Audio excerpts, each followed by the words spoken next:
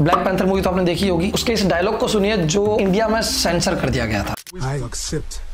Your challenge. Glory to Hanuman. लेकिन एक African Hanuman ji के गुणगान क्यों गा रहा है भाई? बता दूँगा यार आओ। पहले सब्सक्राइब कर दो तो ही बताऊँगा। बता दूँगा यार मत करो तो ही बता दूँगा। ठीक है कोई दिक्कत नहीं। जब स्वामी कृष्णानंद जी ने इथोपियन किंग हेल सिलीसी को रामायण गिफ्ट किया तो उन्होंने कहा कि वो तो इसे ऑलरेडी पढ़ चुका है क्योंकि वो खुद कुसाइट है। इवन भगवत पुराण में अफ्रीका को कुश द्वीप और अफ्रीकियों को कुसाइट्स बताया गया है। यानी कि हमारे प्रभु राम और उनके प्रभु हाम के बेटे कुश के वंशज। Afro American historian D D Houston की किताब में ये वर्णन भी है। स्वाहिली भाषा और संस्कृत में भी काफ़ी सारा संबंध है। इसके अलावा सिम्हा बन गया सिम्बा द्वारी सालम बन गया दारी सलाम दोनों ही कल्चर से प्रकृति को पूछते हैं। यहाँ तक कि उनकी देवी मामी वटा, ओगुन और आइसिस, हमारे भगवान शिव, कार्तिकेय और काली से रिसेंबल करते हैं। अफ्रीका और भारत की कल्चरल सिमिलरिटीज के कंटेंट को सेंसर बोर्ड जो है सेंसर कर देता है। इंडिया में ही। और सामने ओपन हेमर मूवी में भगवत गीता की बेइज्जती हो रही है आदि पुरुष जैसी मूवी बन रही है, लेकिन वहाँ पे कोई दिक्कत नहीं है। कुछ सेंसर नहीं होगा।